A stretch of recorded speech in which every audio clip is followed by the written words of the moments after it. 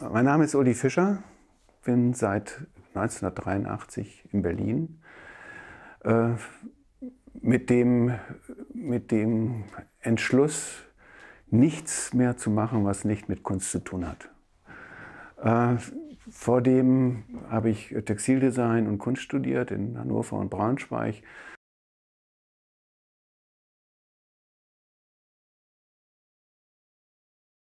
Das fängt eigentlich schon damit an, dass ich äh, in der Malerei nie richtig zu Hause war und übers Experimentieren nicht hinausgekommen bin und wollte eigentlich mit wenigen Mitteln Räume erzeugen.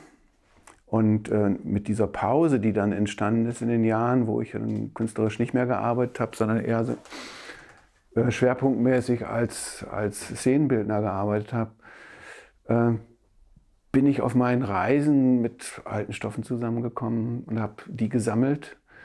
Äh, das fing an erst mit traditionellen Stoffen, die jetzt die, die pure Beauty und äh, das Handwerk, wo das vorne stand, und äh, hatte ein Erlebnis mit einem Ikat-Stoff aus Sumba, der mich so beeindruckt hatte, dass ich dann die Insel besucht habe und äh, dort äh, eine Webart kennengelernt habe, die für mich neu war und äh, damit verbunden auch sehen, dass diese Stoffe einen durchaus kultischen Zweck erfüllen. Zu großen Teil es waren Beerdigungstücher, es waren äh, Tücher für den ersten Zahnschliff. Also die waren immer irgendwie besetzt und dann war das so ein Erlebnis, so dass ich anfing, auf meinen Reisen diese Stoffe zu suchen und die zu sammeln. Ich habe dann angefangen zu handeln mit den Stoffen und bin somit dann auf meinen ersten Stoff gekommen, der aus Japan kam. Das war ein Fragment eines Futons. Eine, der hatte eine irreguläre Form. Das war schon ein fertiges Bild und bin somit auf, äh, darauf gekommen, dass ich einen Rahmen hergestellt habe, der die Form des Stoffes hatte.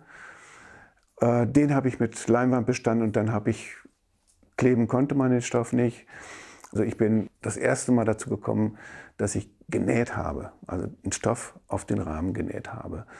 Und das war eigentlich äh, der Auslöser für einen längeren Weg, den ich äh, bis heute gehe.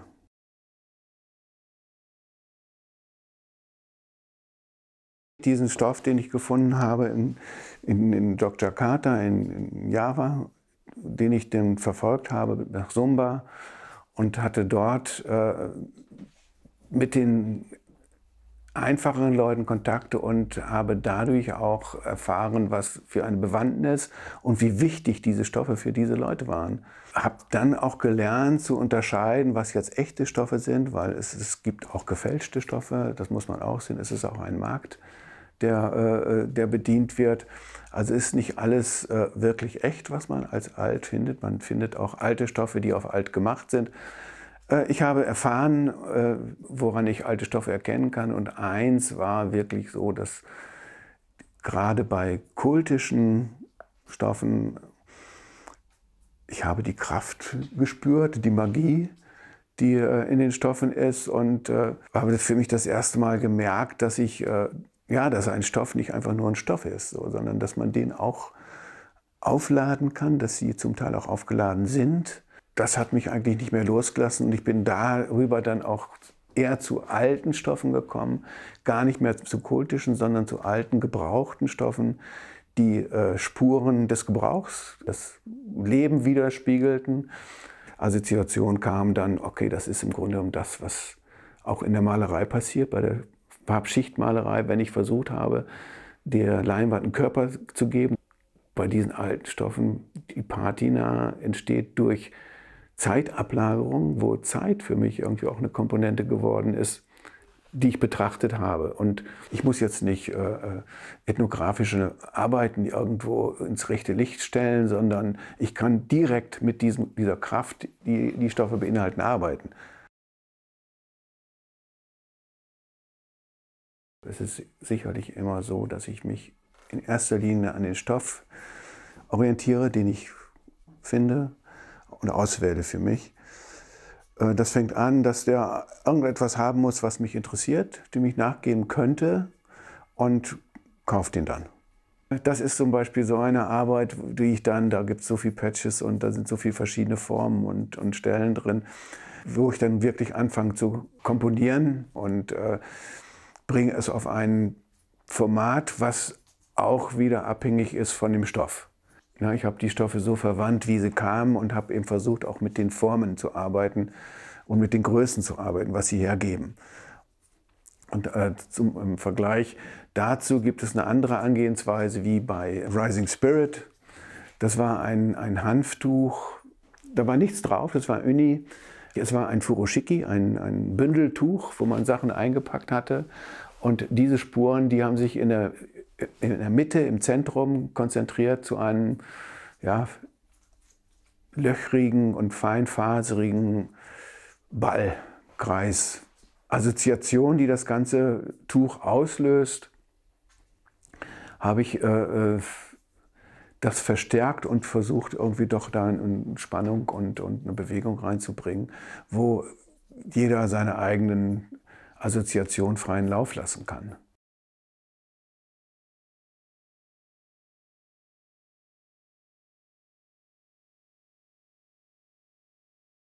In der Zeit, als ich Masse gemacht habe, war so eine Anhäufung von Katastrophen in der Luft. Also es, es waren Waldbrände in, Brände in Russland, es waren äh, Überschwemmungen und äh, es gab zu der Zeit auch die, die Love Parade in Duisburg, wo diese Massen zusammenkamen und das, da, daher kommt die Masse. Ne?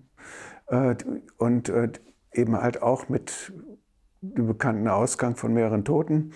Die Intention war, dass ich diese, dieses, was auf dem, sich auf dem Tuch abspielt, äh, dieser Abrieb und aber auch dieses Verschossene, durch Lichteinfall, Verblasste und eben die Patina, die auf dem Stoff sich befindet, wollte ich umkehren.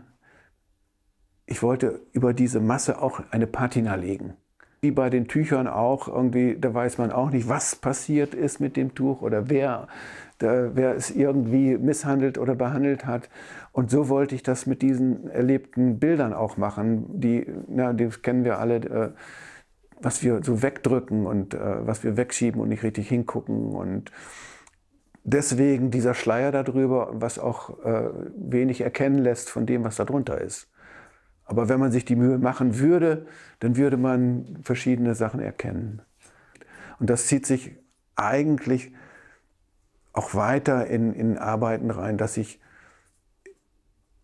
in vielen Arbeiten so eigene Geschichten für mich erlebe, die, äh, die sonst niemand weiß und die auch nicht wichtig sind, aber wichtig sind schon im Sinne von, ich lade diese Dinge auch auf.